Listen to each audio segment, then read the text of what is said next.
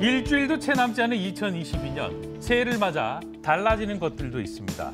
2023년부터는 어떤 것들이 달라지는지 지금부터 소개합니다. 이거 다 남김없이 다 먹고 한 살 더 먹어. 내년은 예외입니다. 2023년에는 떡국을 먹어도 나이를 먹지 않습니다. 네, 만 나이로 통합되기 때문인데요. 그렇죠. 태어났을 때를 영세로 따지고 생일이 지날 때마다 한 살씩 먹는 만 나이로 계산하면 많으면 두 살, 뭐 적으면 한 살씩 더 어려지는 셈이죠. 한국식 나이 대신 만 나이로 통일하는 이유, 바로 혼란을 줄이기 위해서라는데요. 우리나라는 현재 세 가지 나이 계산법을 사용하고 있습니다.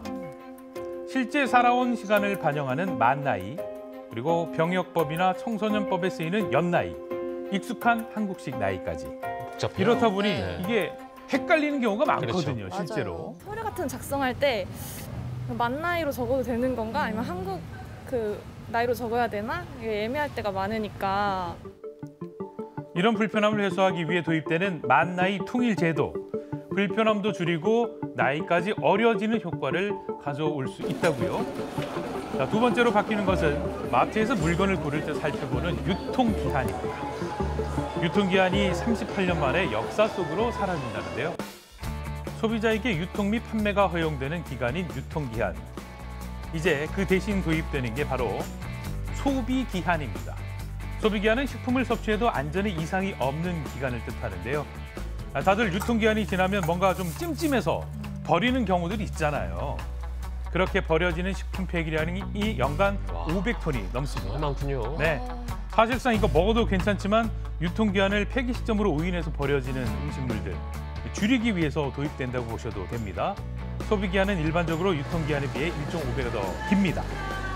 판매 기간이 길어지면 재고는 줄어들고 그럼 자연스럽게 폐기물이 줄어드는 효과가 있겠죠.